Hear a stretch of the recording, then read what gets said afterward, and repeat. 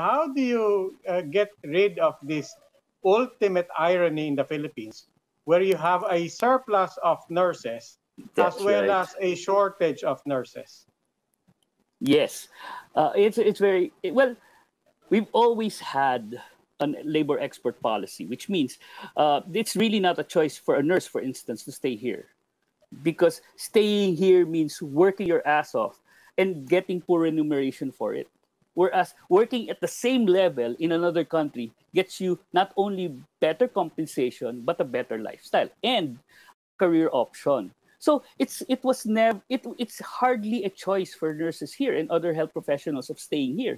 Plus plus pa there were instances in the past that other countries really needed additional nurses. So they they they up the ante kumbaga. They added additional features. So yung pull factor ng ibang countries pas yung push factor natin ang hirap. So what we've been trying to to ask to tell government is baka kailangan alagaan talaga natin yung mga nurses natin dito. So it becomes a real choice. If you talk to, let, let's say, our nurses here, they don't want to leave the country. But they, they're seeing how nurses are being treated here now. Imagine, it took forever for them to get the, the, the a section of the Nursing Act, the one about compensation. It took them forever to get that get that passed. Tapos ngayon, it got passed. It resulted in demotion of other nurses. Yeah. Di ba? Nagka-demotion issue pa. So, kung ikaw ay nurse, nagtatrabaho ka sa gobyerno, at and honestly, yung gobyerno na ngayon pinakamataas magpasahod ng nurses as compared to private hospitals, for instance, ganon pa trato sa'yo. So you can just imagine the difficult position of nurses. And here comes an offer to work abroad.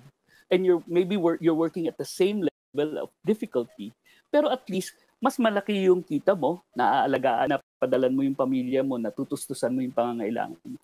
So it has it's always been that. It was never a real choice for nurses or other health professionals to stay here. And the pandemic has actually shown how, how very little the government is doing in that regard. Can you imagine? We're already, we, why can't government recruit now in the middle of pandemic? Kasi yung ino-offer nila, hindi naman ganun kataas. And if you look at what they're offering the people coming in from Cebu, natuto na sila. May mga dagdag na. The compensation is actually much higher than what they're actually giving currently employed nurses. If you look at the compensation package ng So ano, nagkaka-distortion patuloy ano. Oo, nagkalaki. Pero kasi kasi Lucy, ano lang naman sila, three months lang eh. So, yan Yes, din yung nakikita natin eh. Contractual sila. Contractual yung yung obligation nila, bigyan mo na sila ng malaki para ma, mapa, mapastay mo sila dito. Actually, been, we've been calling for that in second opinion. We're saying give them attractive packages for them to to actually consider staying here and joining the fight because right now we need everybody eh hindi pwedeng volunteer, hindi naman pwedeng papag-guilt trip pa natin at sabihin, hindi kayo makabayan pag hindi kayo nagstay dito. Yung mga ganon. Hindi yun yung proper approach. In fact, before we we saw yung kahit sa doctors, no?